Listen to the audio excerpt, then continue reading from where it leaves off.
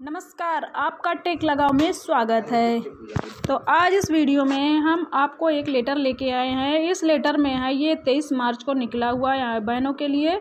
तो ये लेटर है कोविड नाइन्टीन के संक्रमण के दृष्टिगत आंगनवाड़ी केंद्रों को दिनांक चौबीस मार्च 2021 से इकतीस मार्च तक 2021 तक बंद अवकाश बंद किए जाने के संबंध है आंगनवाड़ी केंद्र। तो ये लेटर लखनऊ, उत्तर प्रदेश से।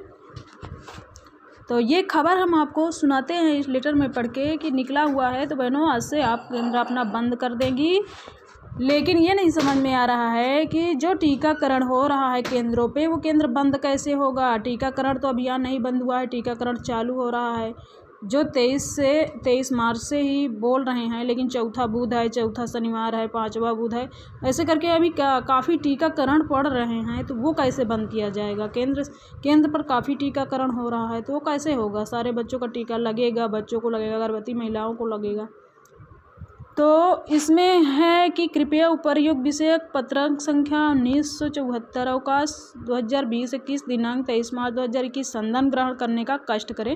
जिसको द्वारा अवगत कराया गया है कि मुख्य सचिव उत्तर प्रदेश शासन पत्र संख्या सी एक्स गृह गोपन अनुभाग थ्री दिनांक तेईस मार्च दो हज़ार इक्कीस चौबीस मार्च से तेईस मार्च को ये लेटर निकला है और इसमें क्रम से चौबीस मार्च से इकतीस मार्च तक आंगनवाड़ी केंद्र पर अवकाश करने के संबंध में औपचारिक आदेश निर्गत करने का अनुरोध किया गया है।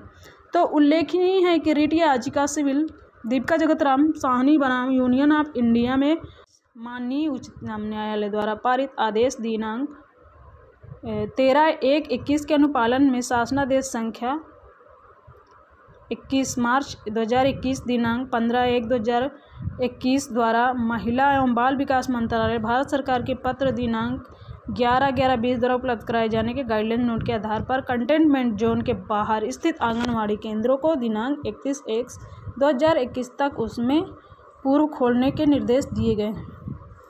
जो कंटेनमेंट जोन में आते हैं कंटेनमेंट जोन से बाहर आते हैं आंगनवाड़ी केंद्र तो उनको इकतीस के बाद इकतीस एक से ता, उससे पूर्व खोलने के निर्देश दिए गए हैं।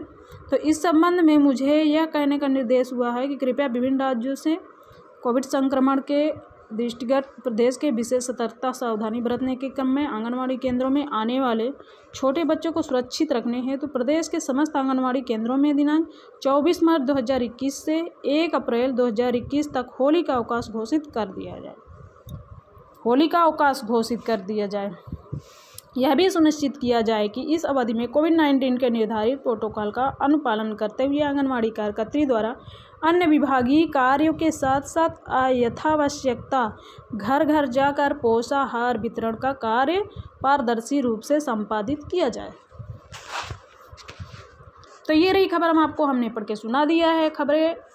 तो आई हो आप खबर पसंद आई होगी, पसंद आई हो तो लाइक करें, शेयर करें और सब्सक्राइब करना मत भूलें। Thanks for watching.